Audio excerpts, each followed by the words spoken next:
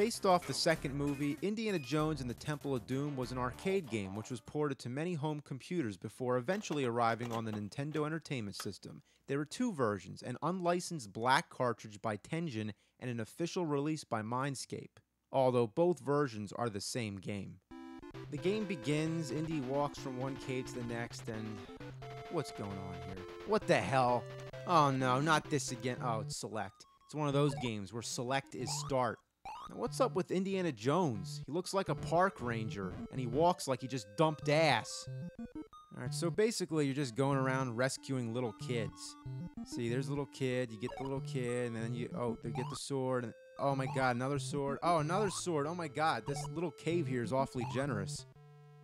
All through the game, you keep finding swords and guns and stuff, but the big question is, what do you do with them? The start button brings up this screen which shows your supply, but how do you select your weapons? You try every button and nothing works. So what's the point of this screen? Nothing. It's just for shits and giggles.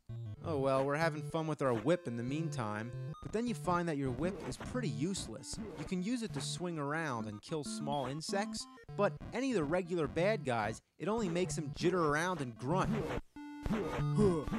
Should be a dance. Whip it. Come on, this is ridiculous. By now you're wondering where the fuck are my weapons? Well, here's how it works. You hold the select button while pressing right for the sword, left for the gun, up for the bomb, and down for the whip. On top of just being awkward, it's impossible when you're in a tight situation and have to switch real fast. There's no way to pause the game and then switch weapons. You have to do it during the action. If you're on a conveyor belt, there's no way you're gonna mess around unless you wanna fall off and die. That's my biggest gripe with this game. I've never heard of such a back-ass, dim-witted, idiotic, lame-brained way to switch weapons. But at least you only use one controller. There's also a serious problem going on with the jumping. Whenever you jump, you gravitate towards the bottom of the screen. You're constantly fighting against it with the D pad.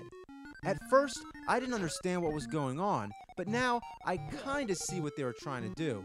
The cliffs, the platforms, the conveyor belts, everything's descending as you go down, like you're on the side of a mountain. So whenever you jump, naturally you drop. But you're sort of looking at it from a bird's eye perspective. But no, wait.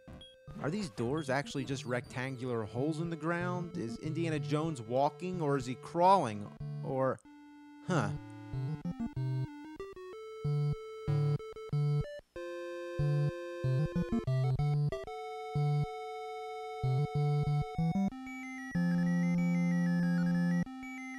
I don't know. I don't have a fucking clue. It's like they couldn't decide if they were making a 3D or a 2D platformer. So what you get is like a hybrid. Anyway, the big problem is figuring out where you're supposed to go. Some call it a platformer game, some call it an adventure game. I classify it as a where the fuck do I go kind of game. Yeah, one of those. It's dreadful.